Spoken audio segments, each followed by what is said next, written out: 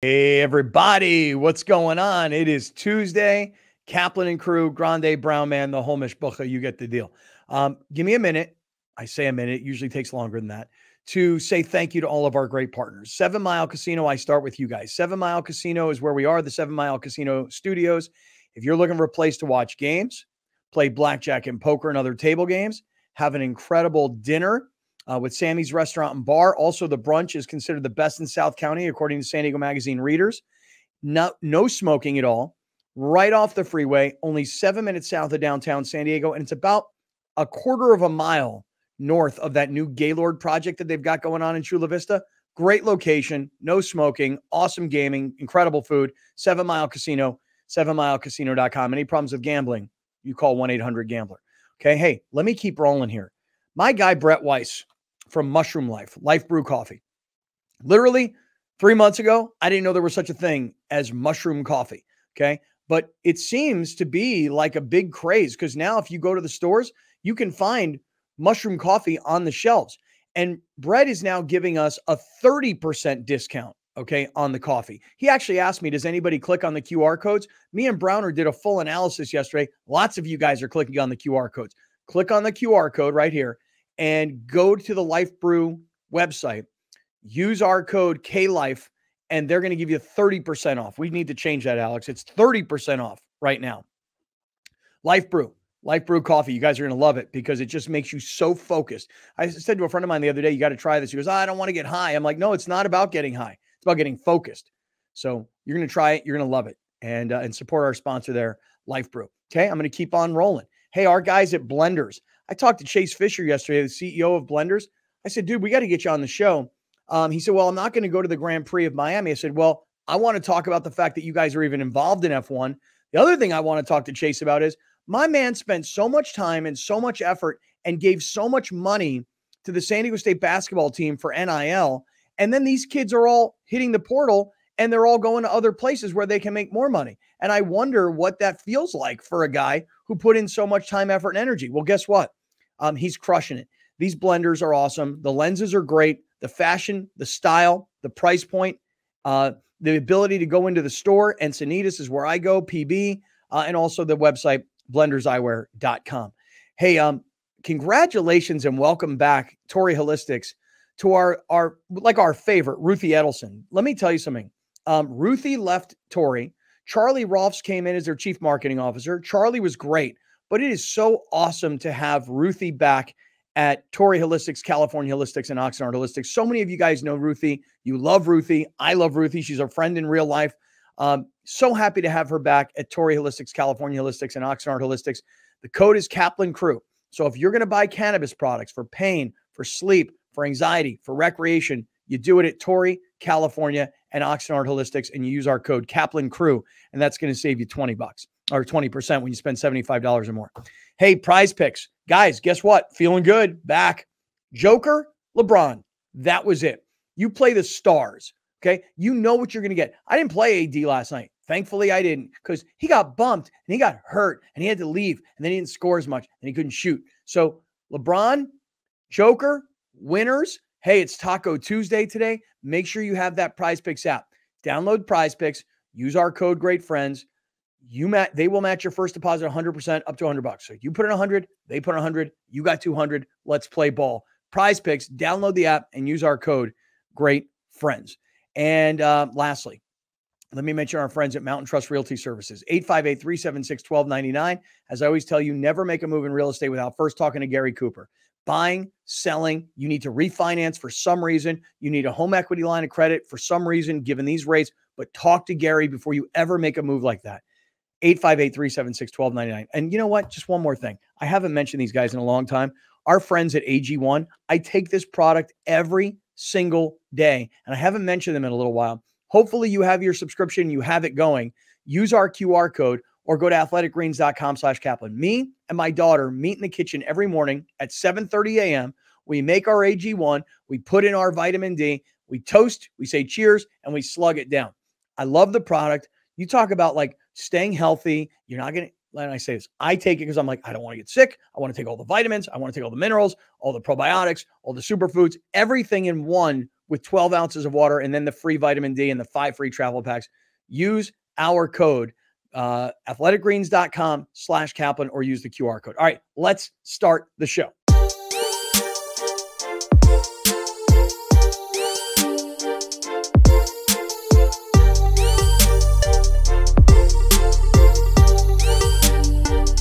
Yo, great friends. What's going on? It is Tuesday afternoon.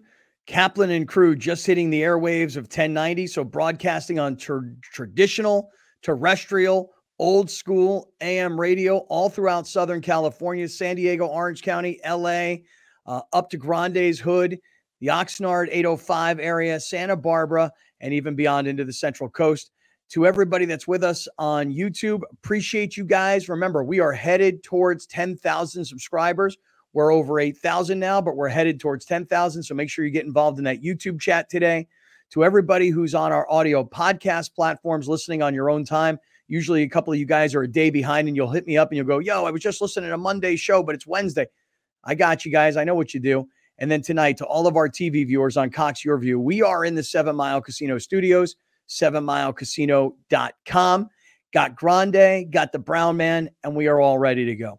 You know, yesterday at the beginning of the show, I kind of laid things out like, okay, look, there was all this great basketball playoff stuff over the weekend. There was some interesting baseball over the weekend. We still were kind of dealing with the NFL draft from what had happened Thursday, Friday, Saturday.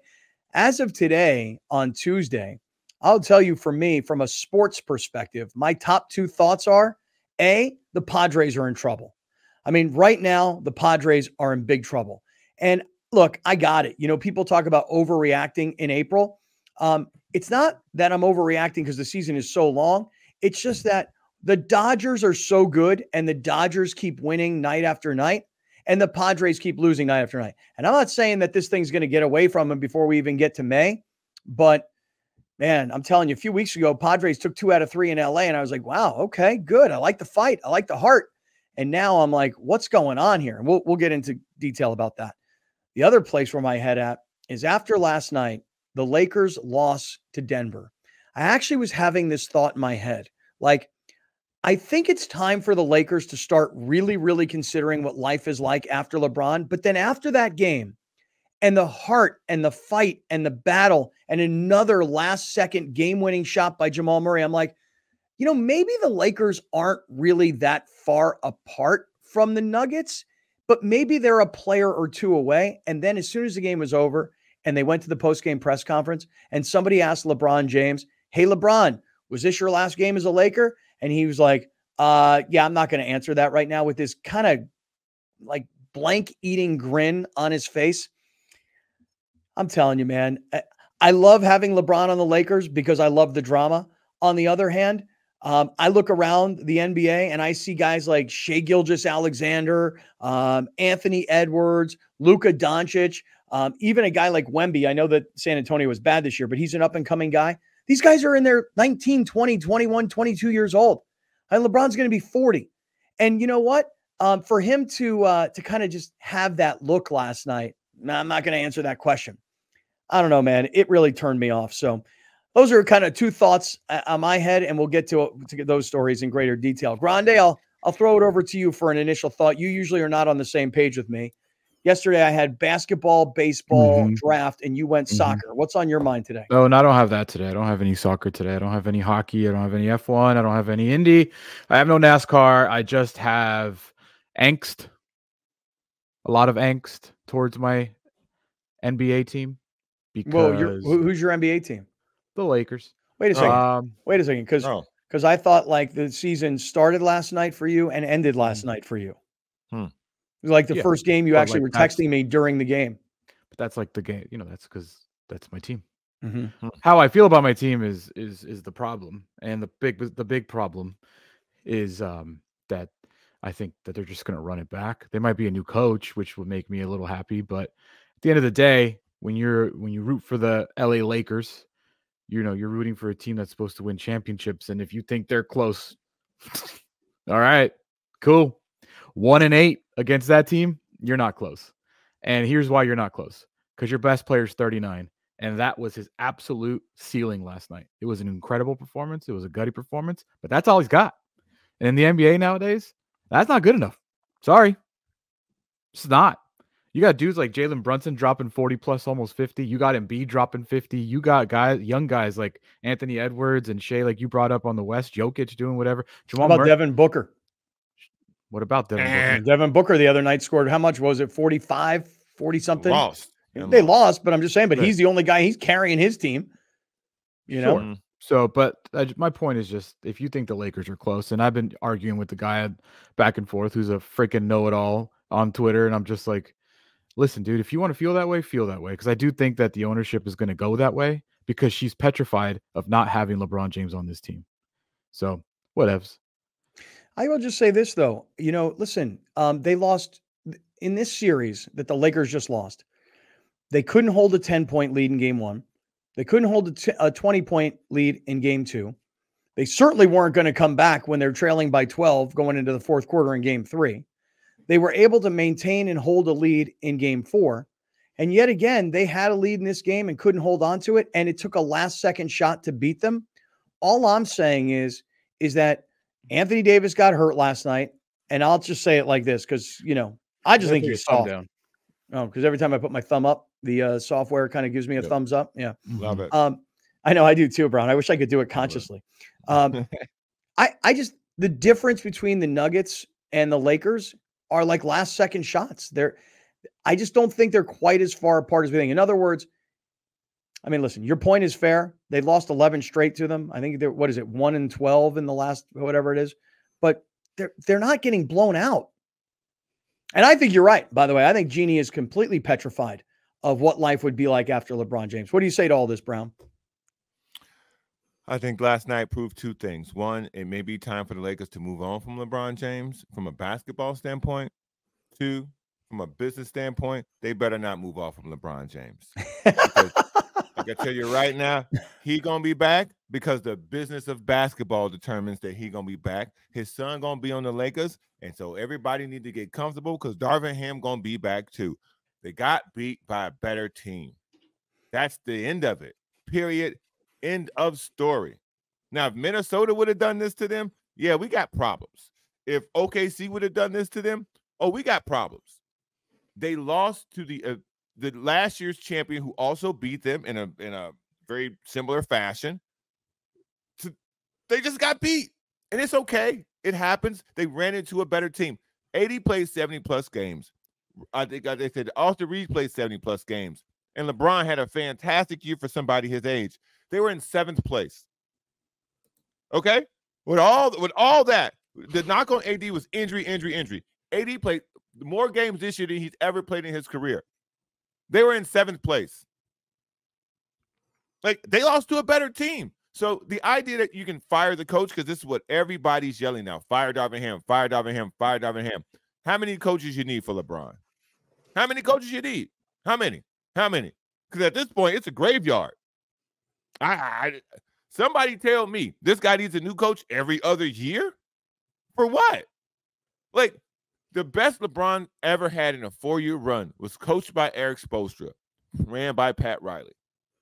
The structure of that made LeBron James a legend.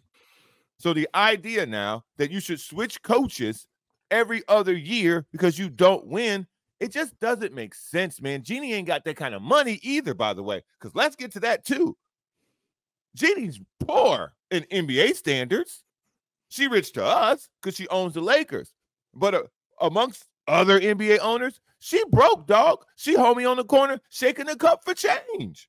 She ain't got it like that. So she can't let LeBron leave from a financial standpoint. So Y'all better get comfortable because this roster's gonna look real familiar. They're gonna change some things around the edges because some guys that were hurt didn't necessarily deliver the way that they thought that they would. The Vanderbilts, the Jaxson Hayes, the, the, the, these guys didn't deliver for the Lakers. Rui may be moved on, but you, you, you don't want to repeat what Phoenix is doing. You get three top heavy guys, you got nobody else. Well, that that that that is that is the case to be made for trying to make the team better with its core is looking at teams like Minnesota or Denver or. Oklahoma City, teams that are are consistent and they they're building year after year. Um, the case against, um, you know, trying to just find another star is Phoenix because Phoenix thought that they could do it with just, you know, you know, like you say, top heavy stars. And not only do you have a team in Phoenix that's not very good, but you got way too much attitude over there. I mean, what Bradley Beal did the other oh. night to Frank Vogel is an embarrassment. Um, oh. so unprofessional. But Alex, I kind of, I kind of feel like, like Browner's right. What other team is going to bend over backwards for LeBron and virtually guarantee that Bronny's going to be part of their team? You know, I mean, uh, look, look, at the look at the 14 teams that didn't make the playoffs, and they would all bend over backwards to do that. They would all take Bronny to have LeBron at 100. percent yeah, maybe first round pick, by the way, with a lottery maybe. pick if it took that. Mm-hmm. maybe all I know is this: is that uh, LeBron's business and LeBron's life is in LA. And yep. his comment last night about, you know, is this your last game? And he gave you that look. He kind of gave you that like a Bill Cosby kind of eye roll smile. You know, it was a little yeah. weird. Uh, I will have that. Allegedly. Allegedly. yeah. Here, let's let's let's take a listen to what uh, tonight. Was there any thought at all that you know this could have been your last game with the Lakers? Um, I'm not going to answer that. Appreciate it. For for for Laker fans that hate the Lakers while LeBron is a Laker, that's why that's that's why they hate him. That's well, why that's they, me. tell me. Go ahead. Burn me up. Yeah, tell me. No, I mean he does this. This is what he does. So you you can't have an offseason not talking about LeBron. I know. I saw if it were uh, honestly, honestly, yeah. he's gonna opt out the day of the finals, the way A Rod opted out of his like Rangers contract during the World Series because it's like, wait, I haven't been on the TV in two months. And everybody got mad. Hold on a second here. Hold on. Let me make this about me real quick. Hey, Rich, Rich, excuse me. Uh, there's no headlines about me on ESPN.com. Should we opt out right now? Bron, it's game seven of the finals. Yeah, right. Should we opt out right now? Because I think we should. Yeah. This is I saw a uh, a tweet this morning from Barstool, and um, here's what it said: "A tale as old as time. LeBron chokes in the playoffs, immediately starts his own circus about leaving the Lakers and playing somewhere else." And um, I know it's it's for me last night when he did that. I was like, you know what, man? That's why certain people absolutely are disgusted that you are a Laker. Right. And honestly, you know? if you're disgusted by that, you're just you you're just not paying attention. Like you knew that was coming. I, I was I'm saying. That it doesn't even bother me. It didn't even bother me a little bit. Like people were so upset about it. And I was like, what do you think he was going to say? Yeah, I'll be back. We're going to fight hard and be back. And Darvin's are my guy. No, come on, man. Pay attention. He's been in this league for 25 years. LeBron is playing chess against LeBron. This makes no sense for him to do that. His best option is to remain with the Lakers from a financial standpoint, from a basketball standpoint and from what he has left of his career standpoint. At but not necessarily from winning a championship standpoint. That that ship is sailed. 100% not. That ship is sailed. Because if he goes to another team, it's not going to be his team. He's won an NBA championship as the number one option every time he's won the title. That's why he's been the finals MVP the four times he's won. If he goes to another team where he's not the best player, he will lose credibility for that title. Like again, you, uh, he's thinking about being labeled the greatest player ever. So statistically, he has achieved that. He is statistically the greatest player ever. He wants another championship to be known as the greatest player ever, period. And he can't do that as the second banana somewhere else. Where he gonna go? Let me ask you guys this question because last night there was a point in the game where AD gets hurt and you get into the fourth oh, quarter and LeBron is, LeBron is just going downhill, going to the basket time after time after time. And I know I sent out a tweet that was like, LeBron's going to have to do this on his own. And I really question, like, other than LeBron and Austin Reaves, I think D'Angelo Russell maybe one basket. Did anybody else score in the fourth quarter other than LeBron and Austin Reeves, Reaves for the Lakers? Yeah. Is that it? That was it. But that's I mean, NBA. But that's but NBA. but AD but I don't like, want Dinwiddie taking shots in the fourth. Quarter. Right. Yeah. I don't want yeah, Taurean Prince touching the ball Correct. in the fourth quarter. Right. Correct. Exactly. Yeah. Exactly. And, but, and if AD can't lift his sh- his shoulder, his arm above his head, then yeah. then he took. By the way, he took one shot in the second half and he missed mm-hmm. it. Yeah. Like that's crazy. the fact that the Lakers were even in that game is crazy. That he took one shot. Well, like, but but he took. You hear what I just said? Yeah, he took He one took shot. One Right. shot in the second half. Right, but he also took Jamal one Murray shot. taking one shot in the second half. but but he took one shot to the shoulder, and he he was down on the ground like he was a soccer player. I mean, uh, he got hit by Michael Porter Jr. And honestly, the way he goes down, you thought he broke his back. And in a matter of seconds, he was like, "Oh, I'm okay. I'll, I'll play." He's down face first on the ground. Every player is standing around him. I'm like, "Okay, this isn't just like, hey, it, it hurts. It hurts a little bit. It's like major, major injury." He even went back to the locker room, came back, totally ineffective. I mean, he did have a mm-hmm. block. I mean, he definitely couldn't shoot the ball. But you know how, like, when soccer players fake injuries? Don't do that to mm-hmm. soccer players. this is the second game.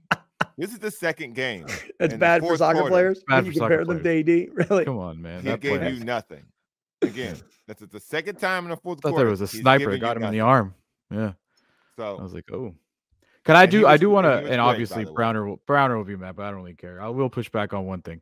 Uh, the bit the diff, the difference between Darvin Ham being thrown under the bus and Frank Vogel being thrown under the bus is very clear and obvious, isn't it? Like you guys hammered the fact that Vogel wasn't a fit for the for the locker room. Like you guys kept pounding me on they're going to bring in a guy who's going to command respect from players because he's one of them, he's one of us. The mhm. biggest difference with Darvin Ham is he's just not a good coach. And those are the reports that are coming out. Like the players aren't complaining about Darvin Ham, the the the person, like the way they were about Frank Vogel and the way the Mhm. Suns are throwing him under the bus now. They're complaining about this dude doesn't know when to play us. This guy doesn't know any sort of rotations. He doesn't know do anything. Doesn't know when to call timeouts, which by the Mhm. way, yesterday was on full display. Mhm. So like I think there's a very big difference. And you can right, by the way. No, agree- no, you you're cannot right. agree with No, me, you- Browner. you And I right. I I genuinely don't. No, no, you're right. because No, you're it's because no, you're so blinded to, no, here's- to be here- proven right, but you're Here's not. what we did. Here's what we did. I'm we right. said, I know we said this. Frank Vogel was not a fit for the Lakers because he wasn't a former player and he's a white Oh. guy strategy coach. What they needed was a former player type who's a big, strong, physical black guy coach. Okay. Because the brothers in the locker room weren't going to respect Frank Vogel. And that was on full display when you had uh when you had Brody disrespecting Frank Vogel. And you know what? I thought that they needed that sort of coach, but they didn't need a guy who was a first year coach, a first time coach. And that is what makes the Lakers so similar to the Chargers. Seriously, ownership from the Lakers and the Chargers, very, very similar. so I just They're broke. so broke is the word. That's a very similar broke. The idea that a guy who made it to the Western Conference Finals last year, you know, and mm-hmm. and got beat by a better team. All in all accounts, the, the the Lakers had a better year this year than they did last year. So the team got better in the regular season Mm. and just got beat by a better team in the same position again this year. That the it, the coach isn't good. I just that's very difficult for me to accept when again you have to take into account who's on the team. No, it doesn't. It doesn't bother me it- at all. I've seen it in football a million times where the coach If- stinks and and the players win in spite of the coach, and they make it to the playoffs, and it it hides the warts of the team. I I um I if, I if you're gonna if you're gonna tell me that Mhm. anybody out there available can Mhm. coach LeBron James okay, from now an now X's you're and talking. O's standpoint, Mhm. then you're in trouble. Well, that's a different So conversation. You're Yeah, no, no, no, that's no, it's not. conversation. No, it's not. You're Mhm. delusional, sir. You're delusional. If you think you're gonna give anybody a check to be the head coach of the Lakers and they're gonna have LeBron's full Yeah. attention, Yeah, nobody. stop. will- That's not gonna no. happen. Well, listen, that's why he left Miami. He don't like being coached. And Cleveland once, Mhm. and Cleveland again. Mm-hmm. And that's why at even one of those stops, except for Miami, where there was proper structure, he had multiple coaches. His his, his stint at every stop. But by the way, that's not multiple a it's not a LeBron problem. That's an NBA problem. That's a that's all across the league. not like this. Not like this. Yeah, ask not Phoenix. like this. Ask Kevin Well, Durant. listen. Again, again, Ask Giannis. like I said, Yeah, exactly, exactly. LeBron. How many? you can, and I get it, Gian- and I get it. How It's many coaches LeBron. have Giannis had? Uh, many I don't know, but he, but he, they just fired a good one. Uh, he's on his second one this year. So Well, He let me ain't do this. Let me do this. We got a lot to get to. three When there's big- coaches in less than a year. Well, there, there, there's more to this story. We'll get to, to it. We'll, we'll, yes, but hold on a second. Let me just have a second to promote our friends at Prize Picks because last night. Don't bring them into this. Well, no, I have to bring them into it because of Jokic and because of LeBron and the performance the two of them had last night. Winner, you're looking at a winner, people. Okay. For someone who's been struggling and someone who's been ice cold like D'Angelo Russell in game three, last night I heated things up because all I decided to do was play the stars, play LeBron, play Jokic. Today's Taco Tuesday. Guys, I'm looking right now. Browner, listen to this. Cleveland, uh, Jarrett Allen, his total tonight, 13 and a half points. You like that play or not? Because it's down from 16 and a half points. What do you think? Like it, like it, like it. You do? Okay. Well, then I'm going to play it. Uh, Taco Tuesday today. They're giving you a big discount. So make sure you download the Prize Picks app. Use our code Great Friends. They will match your first deposit 100% up to 100 bucks. Join me, Grande, Brown Man, and all of our friends that are playing on prize picks. Three million of us are all playing on prize picks. Use the QR code that's on the screen. For those of you listening on radio, download the prize picks app and use our code, great friends. And it's Taco Tuesday and it's time to cook, baby. All right. Prize picks, download that app. All right. Listen, we started with the Lakers. Let us finish up the Lakers and then we'll move into the problems with the Padres coming up. This is Kaplan and Crew.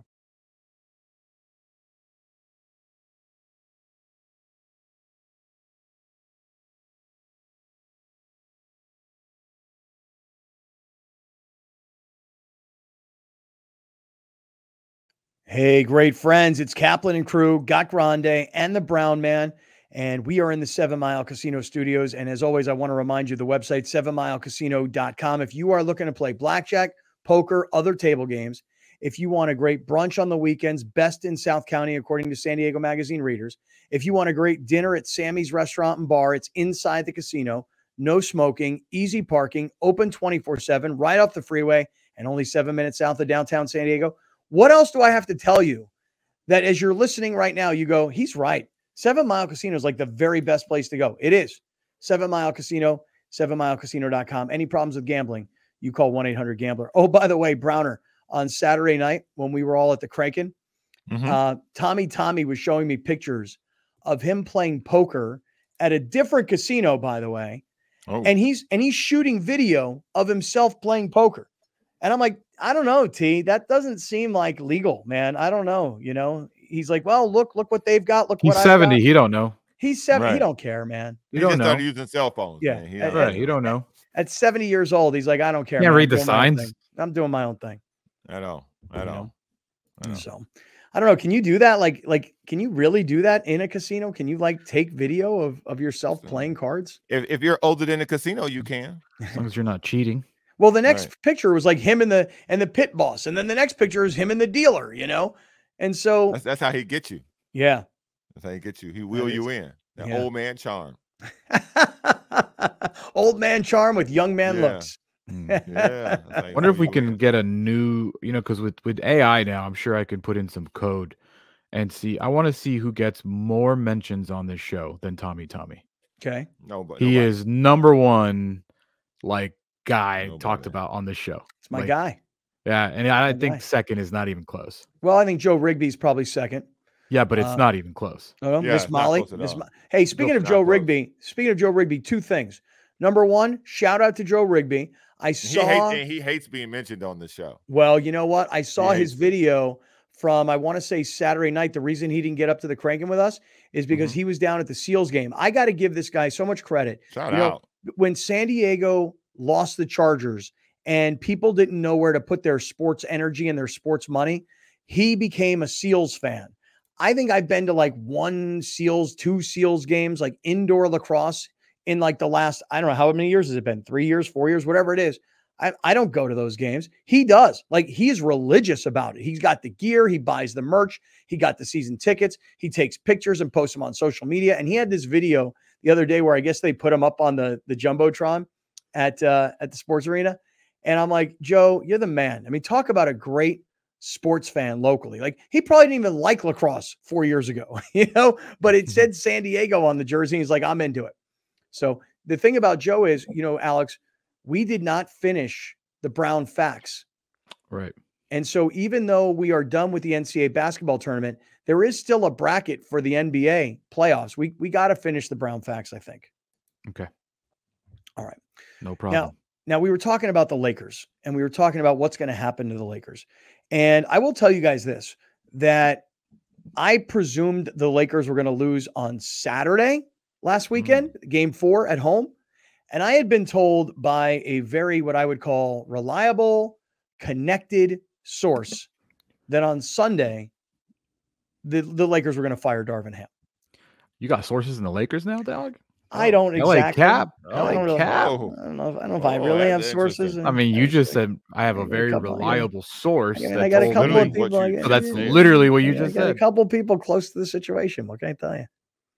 You know, I mean, I got a couple people close. I mean, you can imagine you work up there, you work for the Laker station, you get to know a lot of the Laker people that are close to it, and the next thing you know, you got a source. Yeah. How about that? It's impressive. How about that? LA cool. sources. You cool. know, LA Cap got his own set of LA sources. I see. You know, huh. interesting. And that source told you. This source told me that oh. assuming the Lakers were going to get swept on Saturday, that on Sunday Darvin Ham would be fired. Now, now earlier today, I guess one of the top like NBA insider reporter type guys, this guy Sham Charania. Sham. Yeah, Sham Sham Charania, Charania.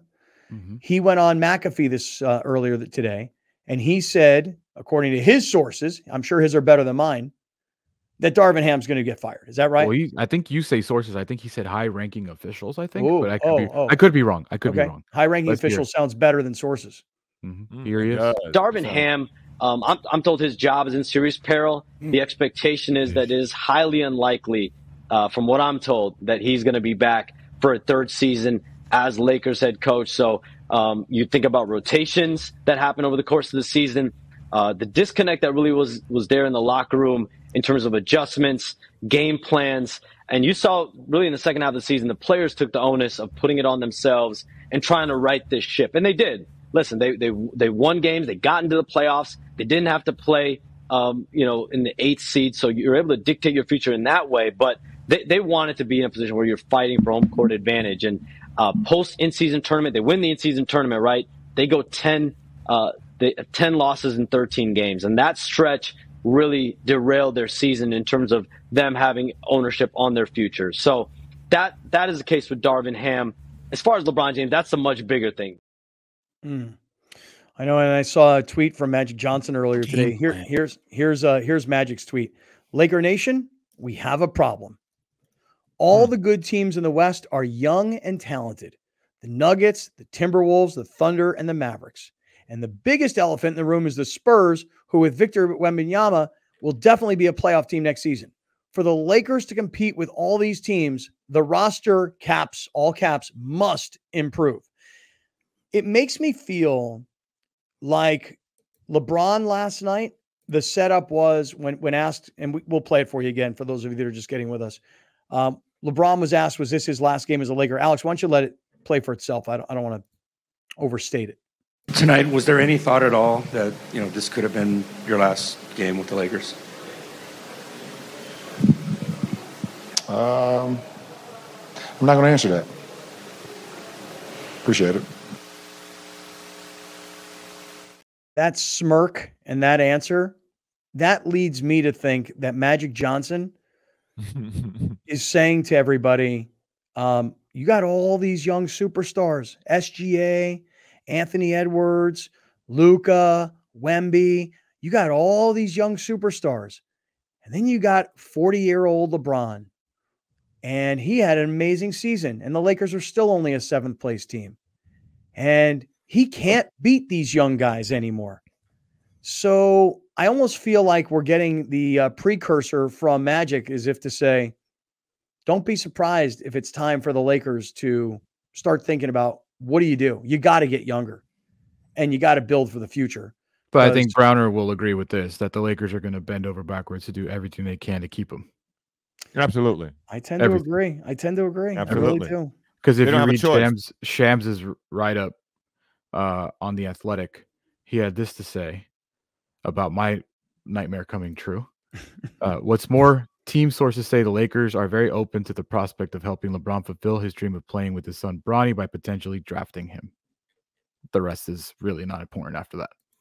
So, but you uh, okay? But look around it. There, there have been examples of this in the NBA. Not the Sun version of it, but look at Giannis's brother. He had two of his brothers on the team. They're not good NBA basketball players. Bronny, for for whatever people may think of him, not prepared, whatever the case may be, he's better than Thanasis, the guy who's on the Bucks, pumping his fist and getting minutes. Like he's better than him. And so the Bucks have made an investment to make Giannis happy by keeping his brother on the roster. The Lakers can easily do the same for LeBron because Bronny may be a good developmental player. Now, how they use him, I don't under, I don't know. But he. How about he can, when they send it? How about when they send him to the G League and LeBron's not happy about that? He, no, hey, I Pop, said I want to play with him. I didn't say I want him to be in the organization and play in the minor leagues. I said I wanted him on the floor. D'Angelo, go sit. Bronny, get your ass out here. Pops, coach him up, then. Pops, coach him up. Coach him up if you don't want him down in the G. I guess I got to do. I said this already, but I'll I'll say it again just in case it was missed. And if this is a Rigby thing, go for it. And I'm not exaggerating. If the Lakers draft Bronny, I'm done. I'm out. Hot take. Hot take. It's not a take. It's not a take.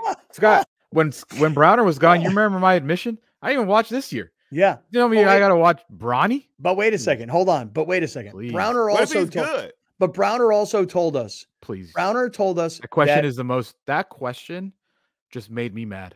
Like actually, I wasn't mad until you just asked that question. You know he's not good. You know he's not good. The dude averaged four points at USC. That right. question just actually pissed me off because you know now you're just messing with me. Right. And now the other thing, the other thing that Browner said is that he's better than than uh than Giannis's brother. He like, is. Well, how do we know? Because all we saw was one year of college basketball where he was very mediocre on a very mediocre team. He wasn't the best player on a bad team.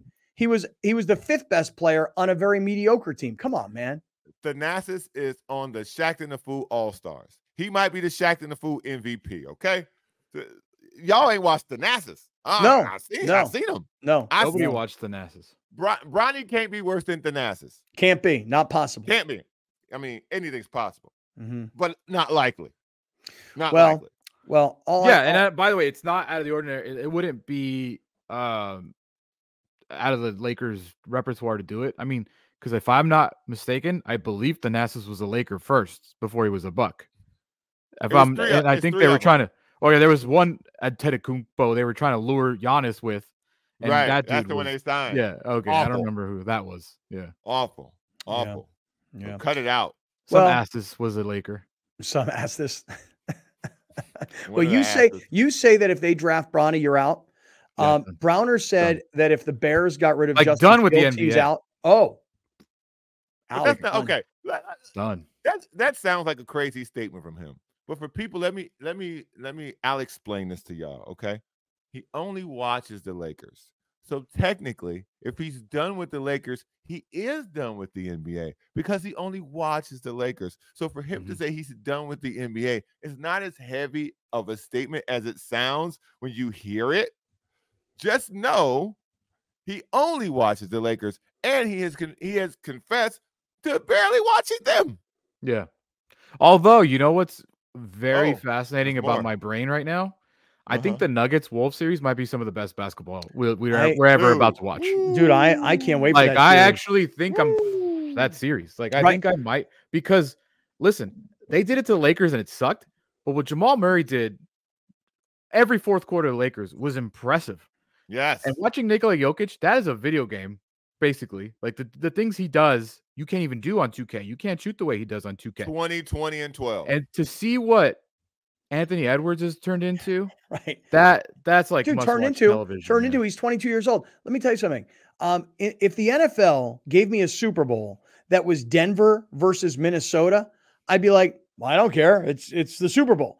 The NBA is giving me Minnesota against Denver, which under normal circumstances I probably wouldn't care about because it's the same thing with baseball. Like if, if you told me that it was the Minnesota Twins against the Colorado Rockies, I'd I'm be out. like, no interest.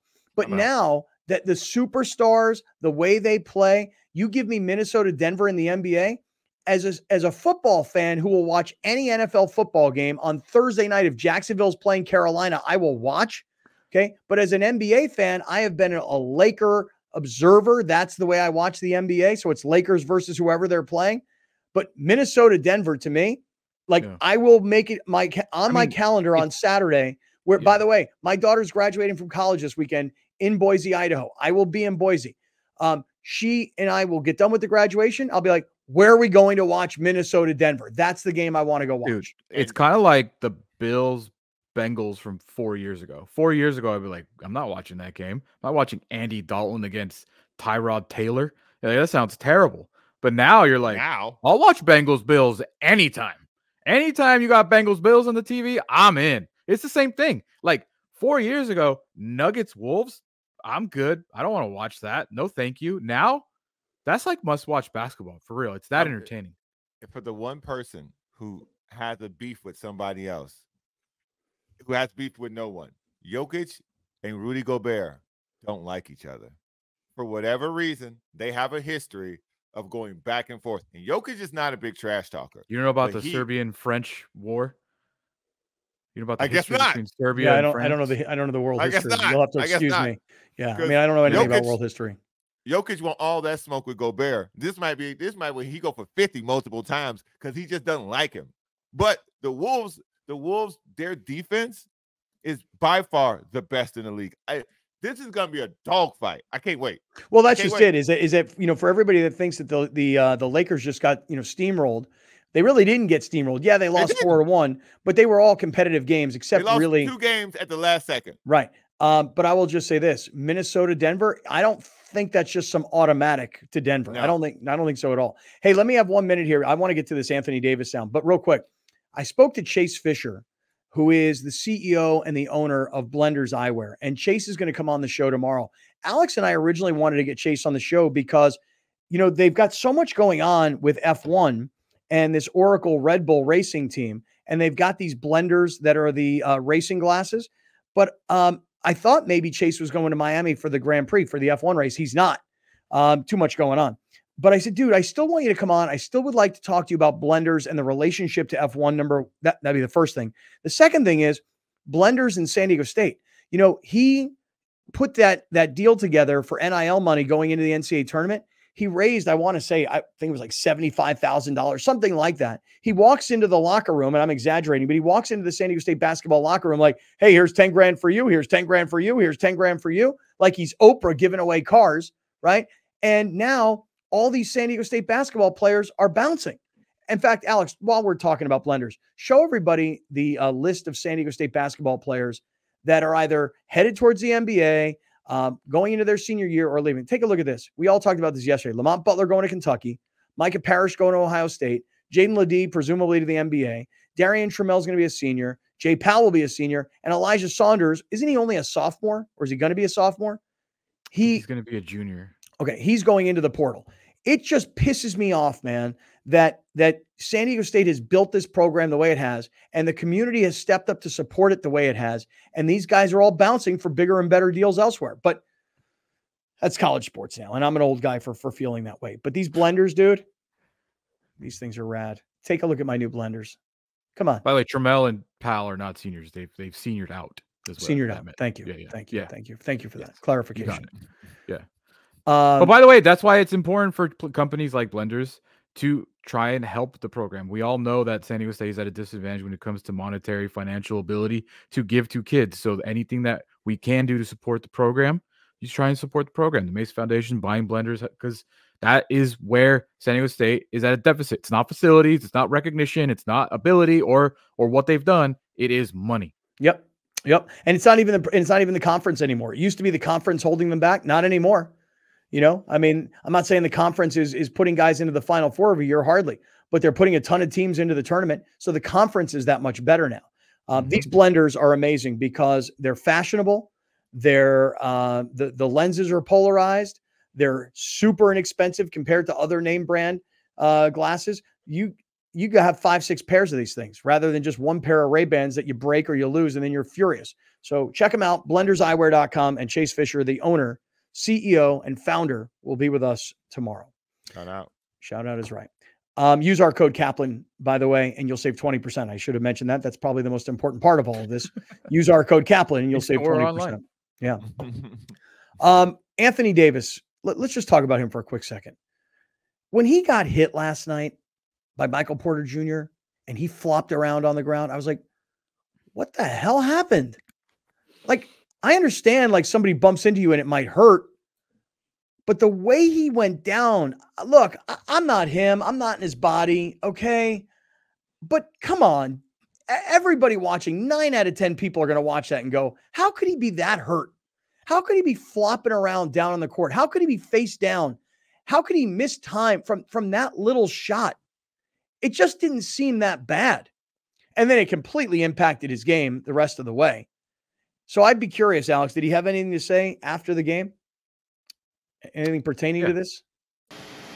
Just knowing, you know, obviously I was just in a you know rhythm offensively, but um, it's an important game. You know, you want to be out there, and it's you know I was just very limited with the shoulder, um, but still try to go out there and just you know do it on the floor for my team. But uh, it's definitely frustrating. Um, just kind of been our our thing all year. Um, you know, Seawood, Vando, uh, Gabe. Uh, you know, we're not making any excuses or anything like that. You know, Denver's a hell of a team. You know, defending champs. Um, it's just tough. Uh, you know, just going out like that. I mean, I give the guy credit for getting back into the game. I do. I give him credit for showing heart and showing toughness. But, you know, him talking about all the other guys that are hurt all year, and he had this incredible year, played more games than he's ever played in any season of his entire career. But for for two games ago, him to come out and rip his coach and rip all of his teammates, we don't know what we're doing on either end of the floor. And then for him to get hurt in the most critical game and not really be able to contribute anything offensively in particular, it just kind of speaks to to the problem that th- that there always is with him. One day he's complaining and crying about not being the defensive player of the year, and Jamal Murray mm-hmm. goes over him for a game-winning shot, and now in the most critical game of the entire season, when you really need him, he's hurt again. God, he Charles, irritates me. Charles Barkley's fault. Come it's on, Charles man. Barkley's fault. Come on, you don't man. call that guy street clothes. You don't give him that nickname. He probably sits the second half, and then it's not four against five, because yesterday was four against five. The second half. All right, Browner, I know you got a lot more to say. Stick around. This is Kaplan and crew from the Seven Mile Casino Studios, sevenmilecasino.com. We'll wrap this up. Let's start talking about the Padres next. This is Kaplan and crew.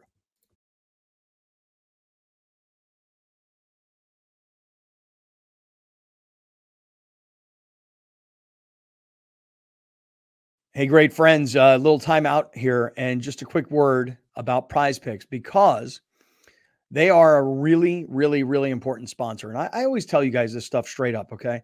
Like when they came to me and said, we want to sponsor the show, the reason that they did is because we were having so much success in LA. like, but you have this great audience in San Diego also. Why don't we use, why don't we use the, the podcast? It's great, wonderful. They signed a deal with us that was January through the end of uh, the basketball season, the end of the NBA finals. Then in July, they kind of take a month off and then they come back in August. My goal from the beginning was to get them all the way to June because they do have a cancellation, like a 30 day cancellation. Why am I telling you all of this? You're probably like, what the hell are you telling me this shit for? The reason is, is because when they told me about a month ago, hey, um, downloads have have stopped. You guys are not getting as many downloads as you once were. I was like, oh, I'm going to tell everybody the real truth. The truth is, we were killing it. Then all of a sudden, probably a lot of you guys already downloaded Prize Picks, and then some of you just, you know, didn't ever do it. If you've not downloaded Prize Picks, you got to help the show, man. Download Prize Picks, use our code Great Friends, get in the game. It's me, Grande Brown Man, three million other people all over the place, all loving this game. It's so easy to play. You pick two players, could be more. You decide more or less. You fill out that roster on Prize Picks. Today's Taco Tuesday. There's all kinds of deals, and let's all win. Let's all win together, and then share your Prize Picks with me on Twitter, and I'll play your Prize Picks. Download the Prize Picks app. Use our code Great Friends. We would really sincerely appreciate it. Get in the game with Prize Picks. Let's get back to the show.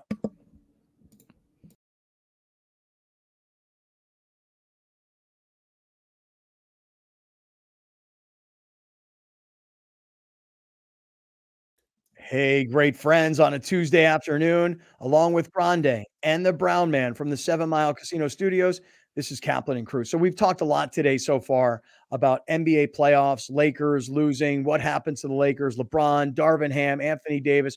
We've talked a lot about basketball to get things going. I said I wanted to turn into some baseball, which we will in a matter of moments. And also a quick heads up on the way. Britney Eurton is by the show. Now, for those of you that have been with us for a long time, you know who Britney is. Britney is the uh, host of NBC's coverage of the Triple Crown. You've got the Kentucky Derby coming up this Saturday. I'll be honest with you guys in advance. I don't know anything about what's going on in the Kentucky Derby. Like horses. I, I that okay, you know what? Check that. I know that there's horses racing in the Kentucky Derby. You know where? I know it's I know it's at Churchill Downs in mm-hmm. Louisville. Now you I know, know what two time, things. you know what day. I know, I know, I know there's a party here locally. Oh yeah, where's the party? Is the party at Monarch? Yeah, in Del Mar. Okay, we need to get the, we need to get somebody from that party on this show. Well, we have in the past. We've had the owner. Uh, let's do it. Let's, let's, do it again because I need to make sure my tickets are secure. Okay, you want to go? You, you want to go to the game or go to oh, the yeah. party on Saturday? Yeah, you know I do. This weekend, man, I uh, I'm I'm out on every all the festivities. You know because um, you out of town.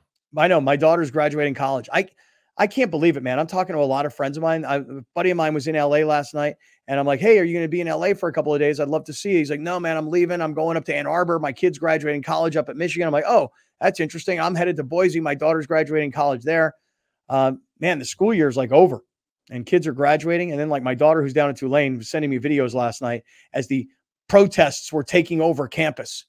Man, it's crazy. It is crazy what's going on at college campuses. And I would just love to say one quick little political comment to all of our 19 and 20 and 20 year old little friends who say things like, We're You're not little. leaving. Yeah, we're not leaving until our demands are met. Okay, stick around. Go ahead, get your tent, sit on the lawn, and wait.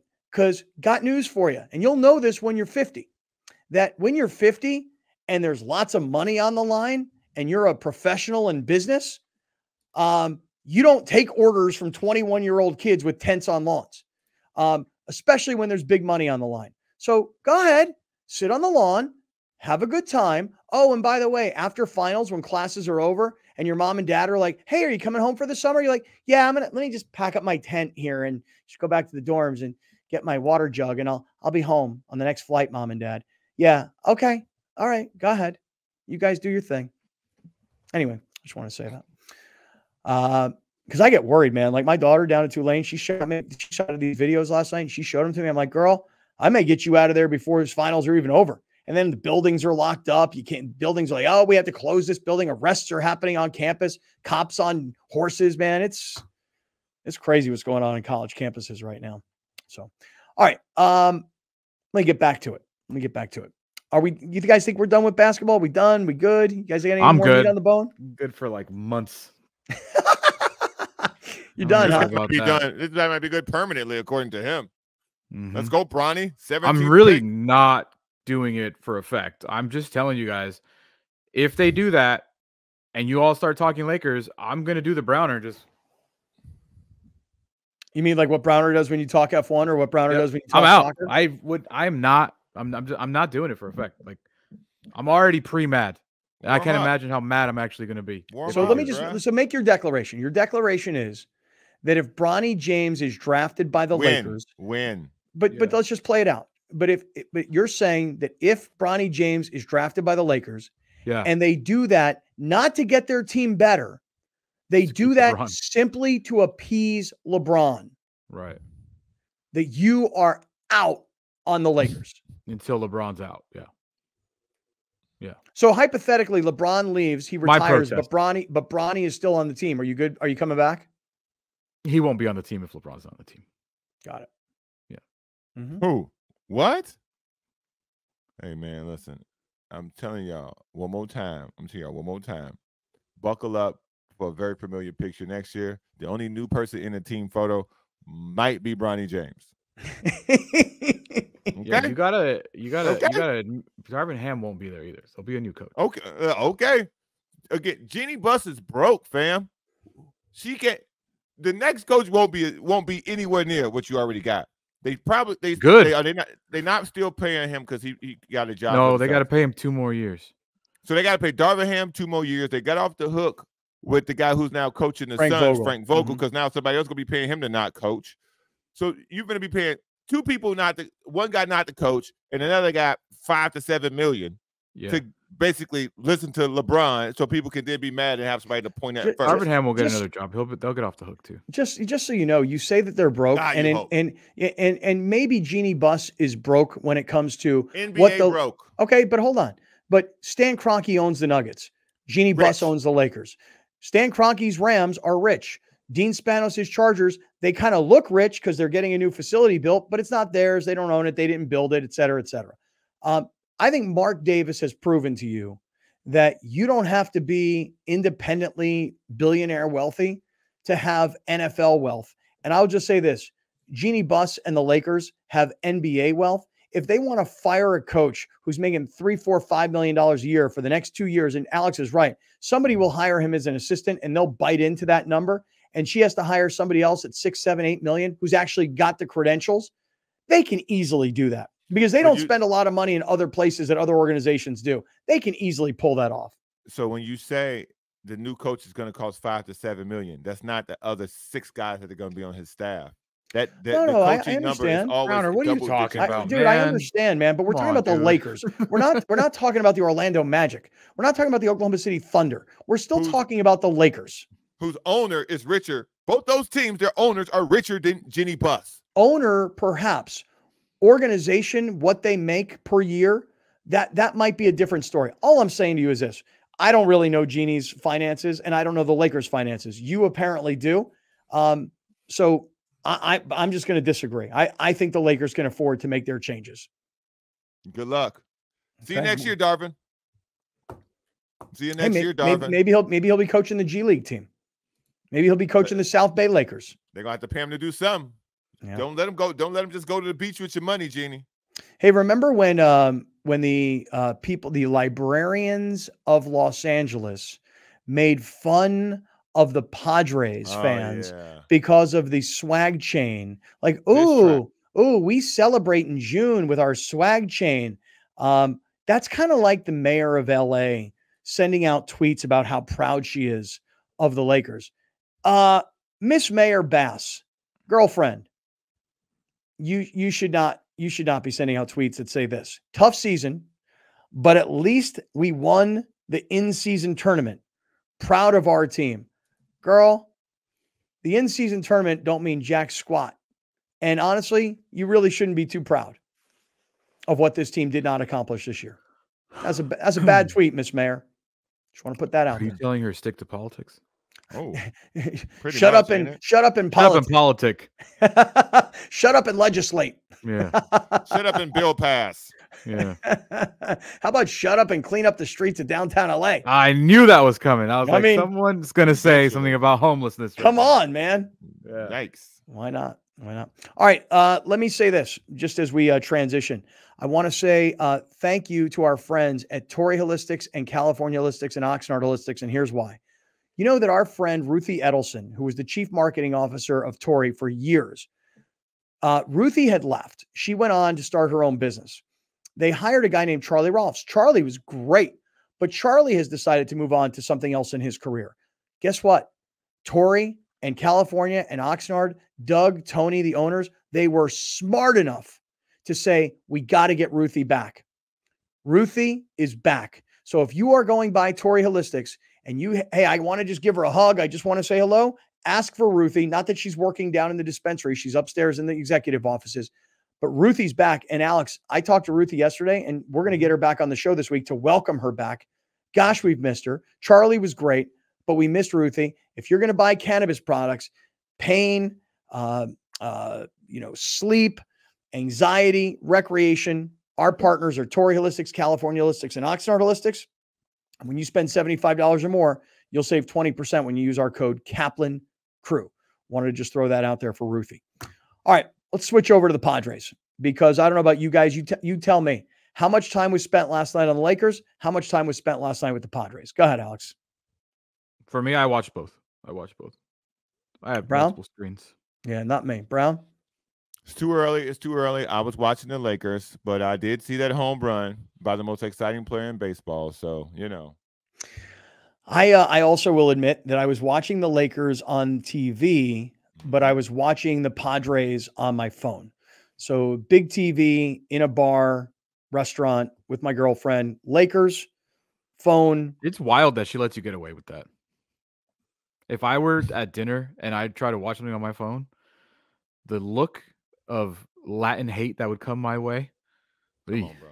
scary. Dude. That's scarier than any horror movie. Jordan Peele can ever make. Bro, You gotta Yeah, you gotta control your situation, bro. What you mean? Don't Well- don't, don't don't don't try to come don't try to come down on my dog like that. If No, it pop- was- it was jealousy. Pop up on the It was screen. it was and jealousy. Do, and do this. if big fella want to do this while he, he eating a salad, big fella could do that while he eating a salad. Mm. Because he control the situation. I'm not cups Mhm. over. I support you, Scott. Watch whatever sport you want to watch at dinner. Actually, it's not me controlling Don't the let, don't let fellow, don't let him punk you into not do it. Watch that game, Scott. no, no. Here's he the deal. He Browner never listens to me. No, he don't listen. He, he oh, doesn't listen to me heard at you. all. I heard you. I heard what you said. I heard what you said. Get control. Get control. I don't have control, Browner. Just so you know, I don't have any control of the situation. Here's Get the deal. control, Alex. No, here's the deal. My girlfriend, Rachel. Love sports. No, no, she doesn't love sports. She loves the Padres. No. She loves the Padres. Um, she doesn't love sports necessarily. She doesn't hate sports. But here's Oh. just to but just to give you an example. I said, look, Rach, let's go out to dinner. Uh, but I really gotta I gotta watch the Laker game. So she said, okay, let's go to this particular restaurant and we'll go because they'll have multiple TVs. They'll have the Padre game and they'll have the Laker game. Okay, we go. Compromise. Right. You know what? It was Monday night, and this place is closed on Monday nights, and we forget all the time that these guys close on Monday nights. It's uh, it's like ridiculous. Chick Fil A on Sunday. I always forget it's closed. Right. So so we go next door to the next place, which is Plan B. We go in. Believe it or not, Oh, th- they got the Laker games on every TV. They didn't have the plan pod. B. Say what? Who took a plan B? Me and Rachel. We went to the next restaurant. Okay. What what what I miss? What I miss, yo? No, go ahead. What was Plan B? Why did I miss? What I miss? He's making Only- a pregnancy joke. A Plan B? Yeah. I didn't. I don't get the pregnancy joke. Okay, then my bad. My bad. Yeah. You know. What's the pregnancy joke? You just hit the e So- brake real hard, dude. You Yeah, gotta- if you didn't get it, you got to move on. Full stop. My stop. bad. dog. My bad. Full my stop. bad. No, Fine. He no, no, clearly okay. didn't get it. I didn't get it at all. That's on me. That's Plan on B me. is a contraceptive where if you have unprotected sex and you think you might get someone pregnant, you take a Plan B, and it, and, and then you don't get pregnant. See, Brown, I don't have that problem. I got I got Plan V. hmm You know, I got don't I got Plan even- V, dog. You know, I don't get Listen, nobody now- pregnant. Listen, show. I take full responsibility for what just happened. That's on me. Okay, I gotta do on better. Okay. I You gotta do got to better. You were at a better. You restaurant. know your audience, dude. Yeah, I do. I heard it. I thought it was funny, but when when the man kept talking without acknowledging it, I just moved on. you yeah, I didn't get it. So so we go to Plan B, the restaurant, not the contraceptive device. Yep. And uh, every TV in the place is with is Lakers, not Padres. So um, the thing about my girlfriend is, is she knows that I I got to see what's going on. I got to know what's happening. So we're in, involved in a full blown conversation because we're sitting at a bar and we're sitting next to each other. We're we're having the conversation, and I'm looking at her. I'm listening to her. I'm talking to her. Then I'm coming back up to the Laker game. Okay, fine. Then I check my phone a little bit. I see what's going on with the Padre game. Right back to her. So I I mean, listen, I get it, Alex. If if you go out on date night and your and your wife doesn't want you watching the game on your phone, I get that. Mhm. But this Mhm. was a work night, dinner. You know, Mhm. that's all. I gotcha. Yeah. That's all it was. So, um, as for the Padres, There's nothing going on there. there's nothing going on there. There's Bro, that I mean, was that was embarrassing last night. I'll tell you what, as someone that watched every pitch of that game, that was embarrassing last night. Jurickson Profar hits a leadoff home run. Well, not leadoff, but in the bottom of the first, he's hitting leadoff. He hits a home run, and then they don't get a hit until the ninth inning. Uh, like they were getting one hit by this Nick Lodolo guy who struck out Mm. 11, and they struck out 14 times last night. 14 times last night. That was an embarrassing offensive performance last night. I don't care what write up or what Twitter's telling me about expected batting average and how hard they're hitting the bro. They struck out 14 times. And if my math is right, I think there's only 27 outs in a game. So Mhm. uh, not very good. No, not then- very good. And that's five losses in a row. right. And And I'm and, and, I'm not overreacting. I'm just telling you right now that was embarrassing last night. Last and- night. and and at home, you know, you get swept by Philadelphia, and Philly's a good team. And here comes Cincinnati, and as Browner points out, they may have the most exciting player. They have got the guy right now Oh. that Fernando Oh. Tatis was three years ago. Yeah. Oh, man. Oh, whoa. You're raising your hand like we're in class. Yeah. What's up? I just really rem- I just- celebrating something. Yeah, yeah. I, I just was gonna sidetrack full stop this conversation again, but then I stopped myself. Oh, Plan B. now No, I'm curious. no. Just it was another example of why people love bobbleheads. Last night was a giveaway, not sold out. Because it wasn't a bobblehead. It was a beanie night. People didn't show up. And you can wear that one, Browner. And you always talk about you can do you can't wear no bobblehead. You can wear a mm. beanie. And it was 30,000 people there last night. But when Joe Musgrove bobblehead pops up this week, I bet you'll be a sellout. What day is it? What, what day is it? What I'll day is it it? up. I'll look it up. Sorry here's for the the, thing. full stop. Here's the thing. Um, you know, you're the home crowd, and you have shown up at Petco Park over the last two plus seasons, like like Petco Park in its 20 year Like history has before, never like had. never ever. before. And honestly, you look at the record of the Padres at home versus the Padres record away, they play better. They're actually a winning team on the road. They're a terrible team at home. They're 6 and 12 at home. 6 and 12. on the road, they're 8 and crazy. 6. That's crazy. It is crazy. And you know, you take a look around yesterday, Alex, you, you had a what I thought was a legendary rant yesterday where you were like, I'm going to explain to you why the Padres stink right now. It's really, really simple. Yeah. You put up the numbers right now for the past week on Machado, Tatis, and Bogaerts. Put them up on the screen for everybody. Let everybody see this. By the way- themselves. yeah. Since Browner wanted to give AJ Preller flowers. Oh yeah. Why do we keep marking it with that? because that's when the mark happened. Because at the time, you, you the flowers were like, look how things are good. Look how good things are going. Right. Look at this week that Machado, Tatis, and Bogaerts have had. Go ahead, Alex. A combined three RBIs between the three of them. A combined zero home runs between the three of them. A combined 20 strikeouts to two walks. And the batting averages are all whatever. So, and then also the team went one ain't and bad. six. The team went one and six. The team, it's not just them, by the way. The pitching's been awful. It was 662 ERA as a team, which is the 27th worst. And the team batting average against is 284, which is 26. So they're just getting hammered and they're not hitting. So y'all off the bus or what? Y'all off? Well, I'll tell you this: I'm not giving anybody any flowers in April. That's all. Again, same same thing I said to y'all yesterday, man. By the way, don't I you get- hate I- Valentine's Day? Why are you trying to hand out flowers, bro? Like you're anti Mother's Day, you're anti Valentine's Day, but you're you're you're pro flowers.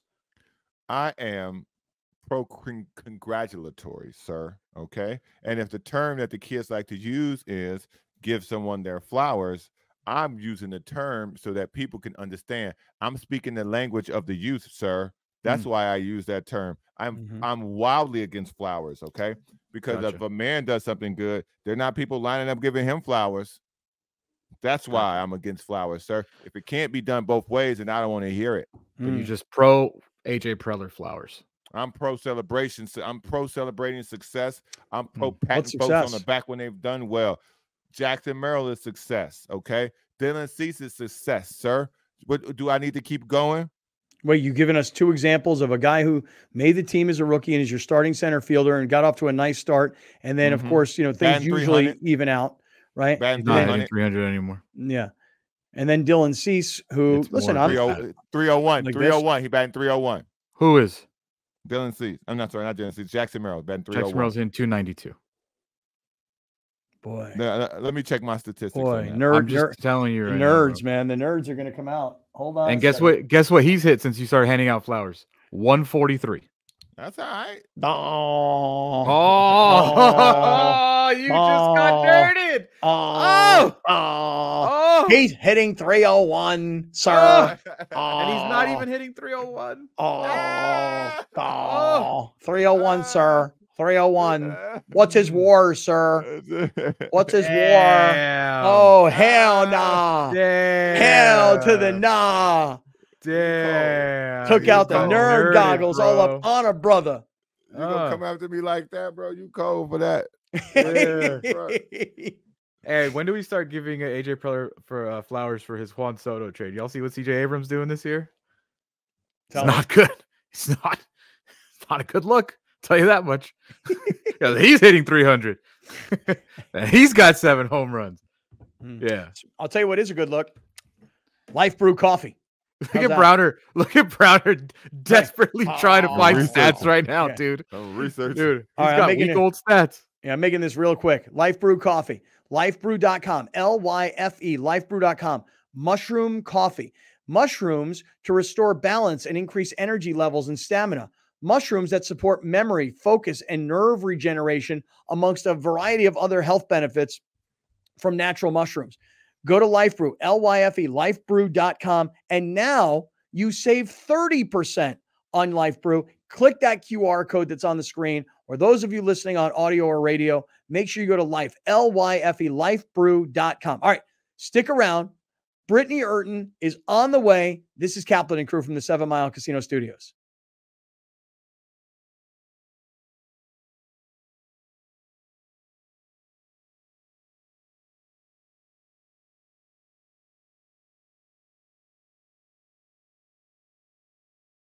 Hey, great friends. What's going on? Kaplan and crew with Grande and the Brown Man from the Seven Mile Casino Studios, sevenmilecasino.com. Okay, so look, today's only Tuesday, right?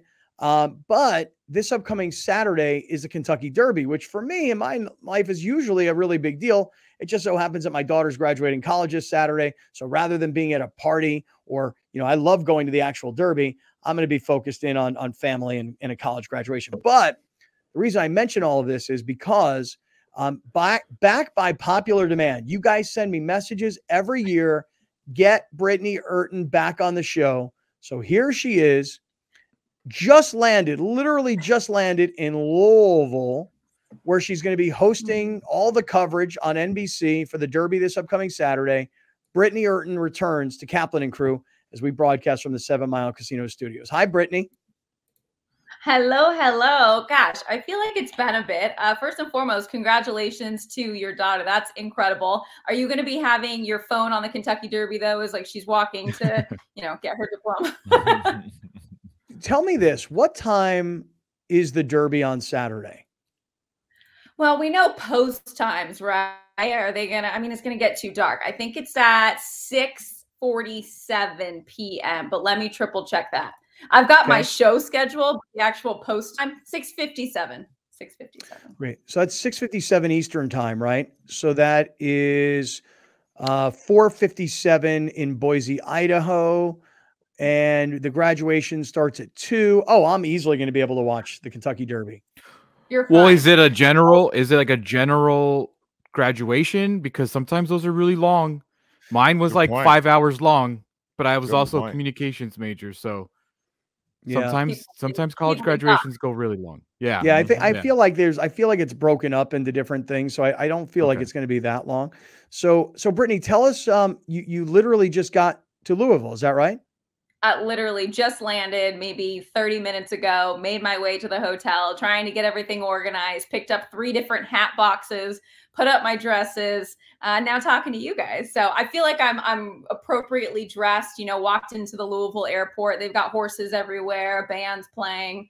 Uh, it's fun. It's really really fun, and it's Kentucky Derby 150. I mean, give me another event that has you know been around for that long. You you will not find one consistently.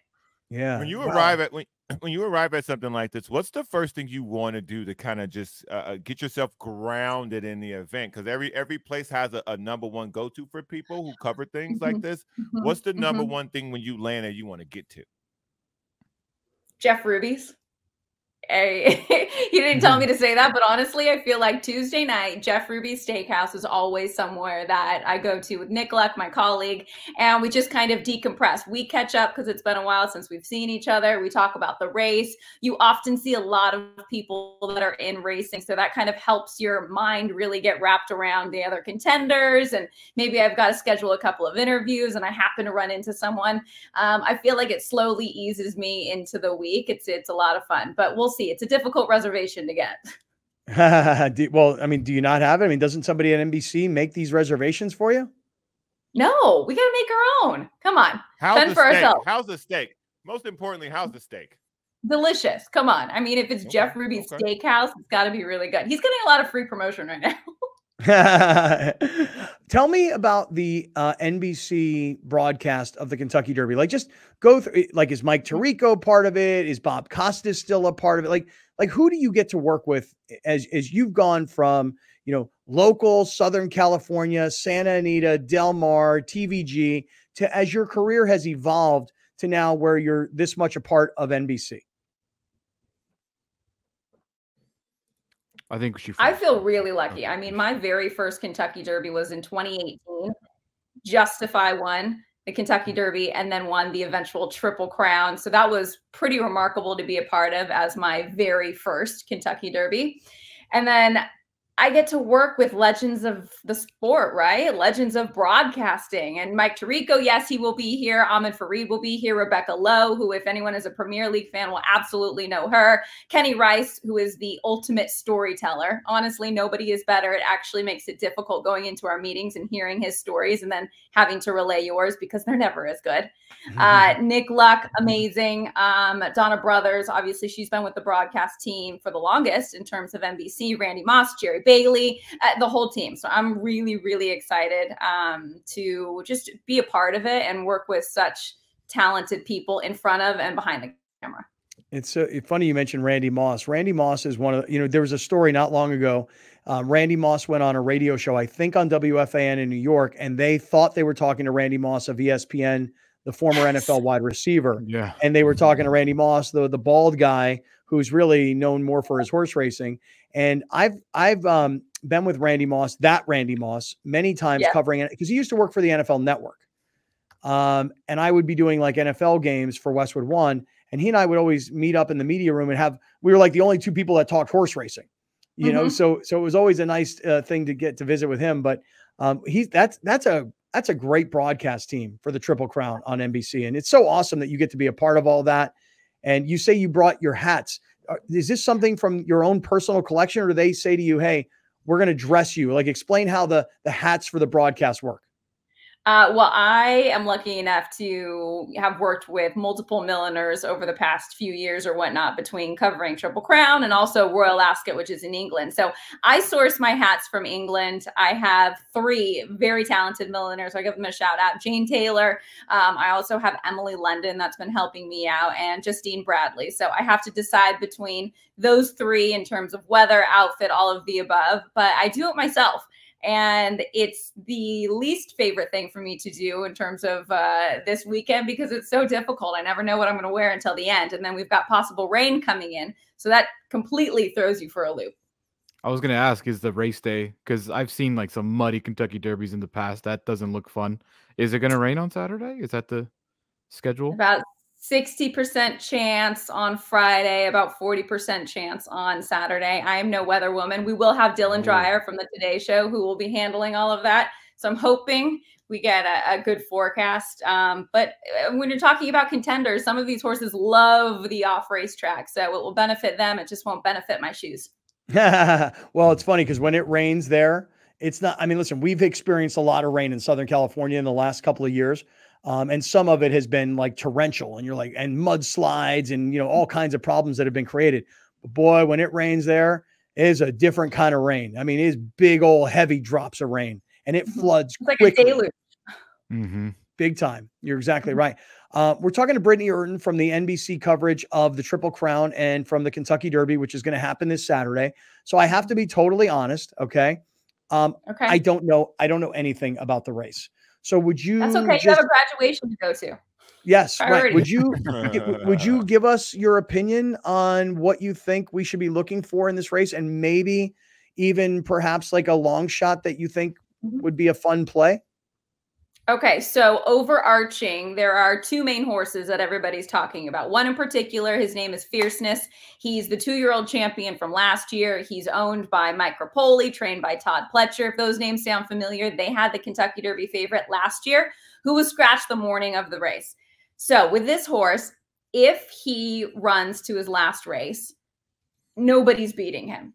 But here's the thing he's incredibly inconsistent every other race is good. So he would be on the other pattern right now, meaning eh, you know, that leaves the race completely wide open. A lot of people are also talking about Sierra Leone. This horse was purchased for $2.3 million. That horse is drawn to the inside. He runs at the back of the pack. I'm not a fan just because of that running style. A long shot, I'm kind of zeroing in on. Go ahead. Yeah, well, I just wanted to ask you. So it's interesting, fierceness, because I'm looking at it right now. He's mm-hmm. um, running from the 17 spot. Okay. So mm-hmm. I, I, think there is some data that says that horses that run from the outside gates don't really mm-hmm. do as well because they've got a longer way to go.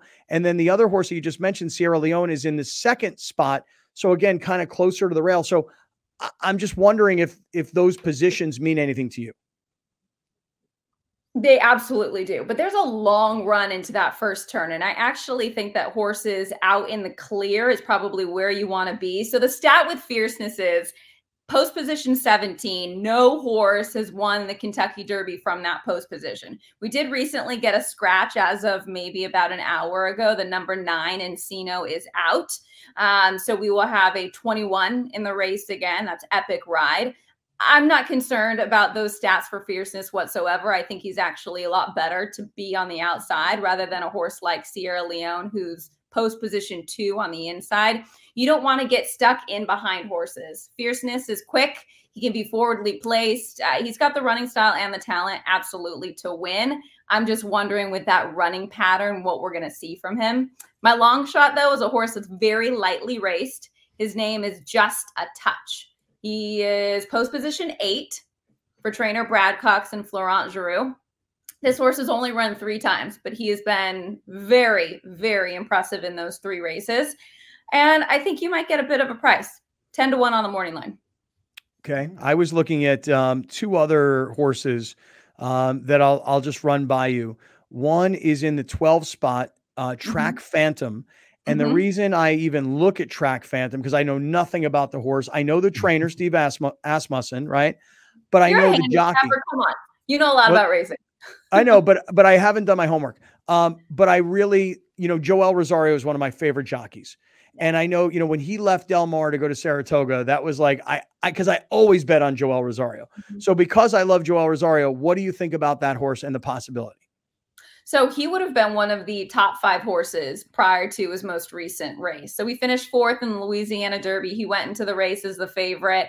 Uh, the biggest question mark I have with him is the distance. Can he get a mile and a quarter? He has the pedigree to get a mile and a quarter, but he showed in that most recent race that he was flattening out a bit late. So my question mark with him would be, yeah, can he actually get the distance? Steve Asmussen, he's won over 10,000 races in North America. That's the most of any trainer. He's never won the Kentucky Derby. It would be big for him. Okay. And then the other one I just want to ask you about is the number four horse, Catching Freedom. Again, mm-hmm. I like to play jockeys, and I like to play jockeys that I know the guys who race or have raced at Del Mar. Flavien Prat is one of my mm-hmm. also one of my favorites. So, what do you think about Catching Freedom, the four horse? A lot of people like this horse. So I do not think you're going to get eight to one on catching freedom whatsoever. Mm-hmm. He would be the flip side of track phantom. He absolutely can get the distance. A mile and three sixteenths was that most recent race. You only add one more sixteenth to it, and that's a mile and a quarter. Um, my only concern about this one is the running style, but Flavien Prat has done very well in the Kentucky Derby. His win came via disqualification back in 2019, but I swear every horse he gets aboard, he puts them in the right spot. So I'm with you, but maybe we're biased being from California and loving Prat. Right, right. We're talking to Britney Eurton, who's going to be part of the NBC coverage of the Kentucky Derby you, this upcoming Saturday on NBC. I have a broadcast question. Kentucky Great. Derby brings out the celebrities, the stars, the randoms. I remember the COVID year you interviewed Sean Payton. I think that I would think it was at the Derby and all that. You got, I think you got COVID from him. Mm-hmm. That right? Didn't yeah, you? like it was so. I had to quarantine for 17 days. Right. I don't think they were doing tests at that time. I felt okay, right. thank goodness. But yeah, that yeah. was that was so. Uh, is there any confirmed celebrities that you know you're going to be speaking to? Are the are the Swift Kelsey mania showing up to oh, Kentucky, oh or is it always just a surprise? Always just a surprise. Okay. I, am typically not the person that's interviewing the celebrities on Derby Day, anyways. I'm interviewing the horses. I'm like on the backside, yeah. uh, hanging out with them, which I'm totally okay with. But uh, it's not guaranteed, but I would not be surprised in the slightest if Tom Brady was here again because he loves the Derby. He comes every year. And on top of that, he's good friends and business partners with Mike Repole, who has the favorite. So what I'm thinking, and nobody's told me this, what if he does the walkover with the horse and Mike Repole? That, that would, would, be cool. cool. That would be really yeah. cool. Hey, Britney, um, I'm going to put you on the spot, so be prepared. Um, hmm. Speaking of this broadcast, yeah, speaking of broadcast, but given your um, success that you've gotten to enjoy with NBC, um, there's a rumor out there in the TV media circles that mm-hmm. you will find yourself in Paris this summer working the Olympics for NBC.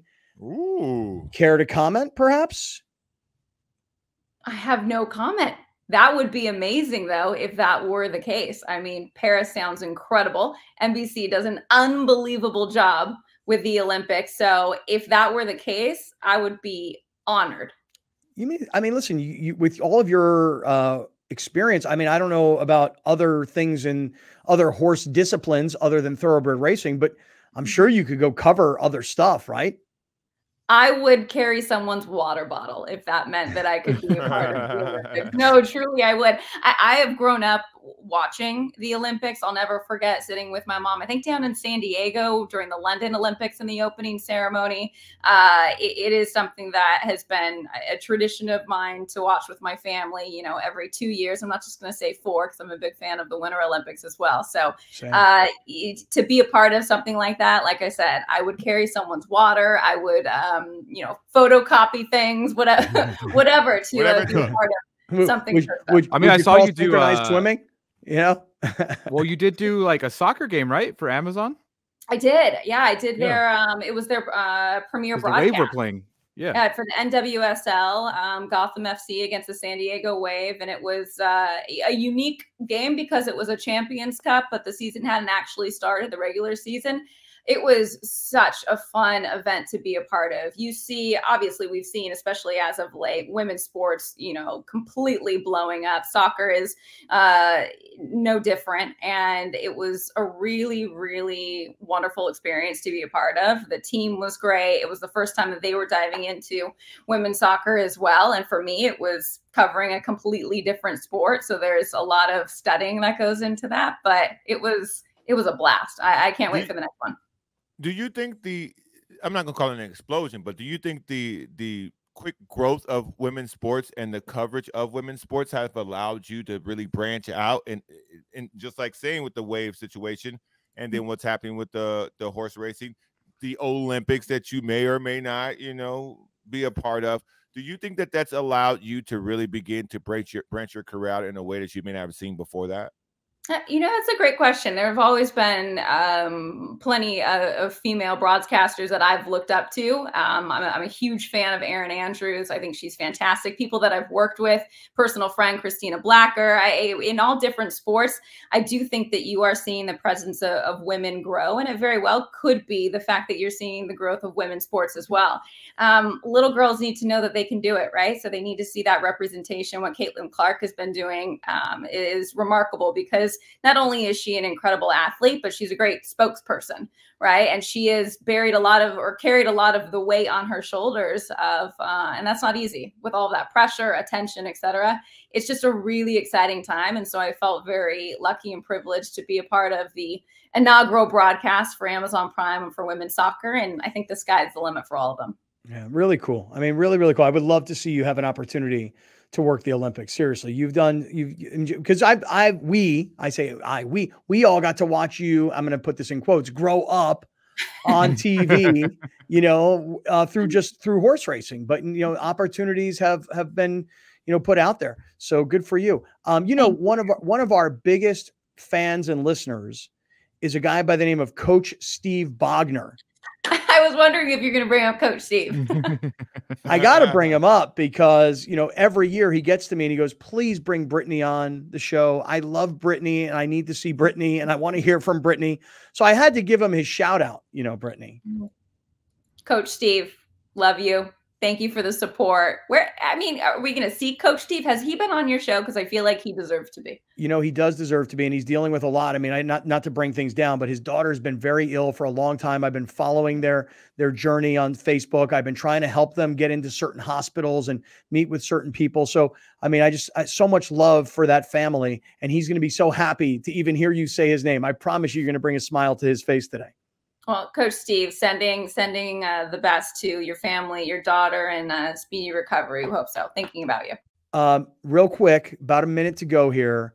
Would you like to brag at all about your Dodgers? Because we have been all sitting here complaining about the Padres. Uh, fair enough. I think uh, the Dodgers haven't been off to the quickest start that we probably thought they all would be, considering the signings and, and whatnot. Uh, pitching still has a long way to go. It was nice to see Ohtani, you know, knock a couple out of the park, but it is so early. This is what my dad would tell me. So early. Can we start complaining this early? No. we have. and do you well, have it's any? a con- for us, it's a continuation of last Right, year. That's right. the problem. This Yeah, yeah, yeah. it's right, a right, continuation of forever. Exactly right. Right, Um, last thing, um, did you watch the Lakers last night? Yeah, and that was a late one for me too because I'm on the East Coast now. I stayed up until I don't know when did that game end, Like midnight. 12:30, past Almost, yeah, almost one in the morning for you. The- God, the free throws that they were missing, Right. and not getting the rebounds. It just it felt like such an easy game for them to win if they didn't make those mistakes. But at the end of the day, I, I thought if we got past that game, how are we going to get past another? They just didn't look like the team that was going to beat the Nuggets. So You're hats off to them. Jamal Murray was unbelievable. You're so right. By the way, Spencer Dinwiddie missed two free throws at you know such a critical point in the game. I was like, bro, you can't hit these free throws. You can't win this game.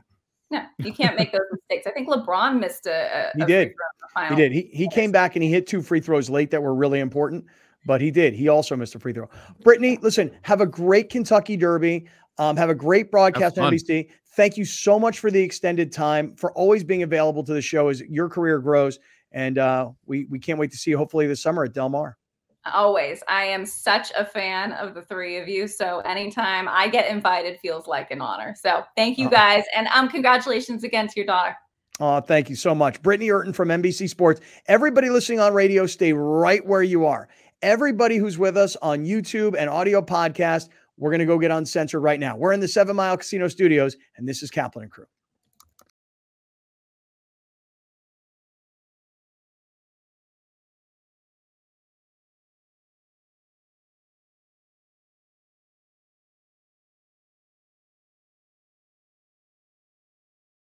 All right, guys, time to get uncensored. All up in this biatch. oh, ew. So uh Britney Eurton coming on in the last segment was great. Um when we hung up with her, like when the segment ended, she was like, Hey, uh, thanks a lot for the uh for the NBC Olympics question. She had no idea that was coming, but somebody had told me that um they'd heard through good good sources that she was going to be part of NBC's Olympic coverage. Now the You got a lot of sources today. Yeah, I know Mm. journalists. The Yeah, Olympics, Big the J Olympics, came out today. big time. The Olympics are in July. Hold on. This is now. oh, Thank you. The Olympics are in July, There we go. and let me think. This fucking thumbs Oh. up. Dude, top of your laptop or top Yep. of your computer, there's a Yep. green FaceTime machine. Uh huh. A green icon, excuse me. Yep, I see it. Click it Yep. and you see where it says reactions. Yeah. Click that. Okay. I don't. Don't Why? I want don't turn reactions. it off. Don't I turn want off your reactions to be on. No, I want reactions to be on. You're two thumbs uppy with your with your mannerisms. Yeah, but how do I get to Browner with Browner, do the heart. Oh, oh shit! Shit, yeah. Oh, Browner, boy, yeah. you gotta hold it. Yeah. Yeah. this one. Yeah. Okay, Caitlin Clark. Oh, Yeah, my hell yeah. Yeah, That's me, and we're gonna get along just fine. Yeah. my wife told me about that one. Oh, really? The other one. How many are there? I'm trying to I, think. dude, I love these. I love the reactions. They're just distracting. What is the one? With, how do we get the? How do we get the the the fireworks? How do we do that? Double thumbs up? Thumbs up. Double Yeah. thumbs up. Yes, bitch. What about the Nixon? yes. Where one? the fuck are my fucking things? You gotta stop shaking them. You gotta Oh. hold them. Oh, The That Nixon. makes the confetti. the Nixon? The, the two hands. Nixon makes. oh, the I gotta turn my reactions on. How about that? That might oh, help. dude, this is so cool. I love this. Yeah, I do it at the end of every show. I love What it. does this Fuck it. Who knows? A jackass comes out. How about No. this? Just do anything for anybody? Mm. I, I don't I don't know. I don't know. I need a list of what's these called again? Yeah. How do we find out? Like, if you do I'm this, Google yeah. list. My thumbs up again. but Britney, somebody told me that Britney was going to get to be a part of NBC's Olympic Oh. coverage, Uh huh. and I what what's what's thumbs down? Supposed to be rain. Yeah. Oh, dude, it's pouring. Yeah. Wait, what? Uh, how do you do that? How do you do the rain? Lasers. Nice. Wait, how do you do the rain? Thumbs Uh, down. double thumbs down. That makes it as the rain. yeah, look look at me. I'm Uh, raining like a motherfucker in this motherfucker. That's. Yeah. That's This one's cool. Lasers. Lasers. Balloons. Balloons. Okay, there they are. Mhm. Okay. I, That's about it. dude, I see this as being on social media today. Us playing with our new toys. sure. All right. yeah, Done. dude. Yeah. Rad, Mac- bro. Yeah. Dude, it's funny. My notes. I should read my notes sometimes for like clips. Mhm. Like, I'll, like I don't know what I even think sometimes. I'm like, uh, Like writing anything. ear- earlier I wrote Browner wrong about LeBron. Start. LA Ma- LA Mayor's an idiot. Uh, Padres Hell Week. I don't know why. I don't know what goes through my mind when I just write shit down. That's funny. Well, tomorrow's gonna be a great show because tomorrow Chase Fisher will be here. So we'll talk to him about blenders and about F1 and about you know the San Diego State Aztecs basketball team needing to go into the portal and get a bunch of dudes because their guys are leaving. Um, don't we have somebody else tomorrow, Alex? We have already somebody else tomorrow booked for tomorrow. I'm trying to remember. No, it was supposed to be Britney tomorrow, but we did. We had her Oh. on today. We have uh, Chris, Chase Fisher on, and then we're gonna have a baseball conversation to to see if you know we need a third party on Thursday between between Mr. Flower Giver and I guess off the bus people. Casey Stern's gonna join us on Thursday. Oh, nice. Very nice. yeah. Very nice. Have a baseball man come in here and tell us who's right and who's wrong, Okay, sweet. or maybe we're all wrong because, like Britney said, it's April. yep. Although but it'll be May. May. It'll be Yeah, May by the it's time gonna be Casey May. comes on. Yeah. hmm It's gonna be May. Really? All right, we got to go. We're back tomorrow. Peace out, everybody. Oh yeah. Oh, Yeah, dude.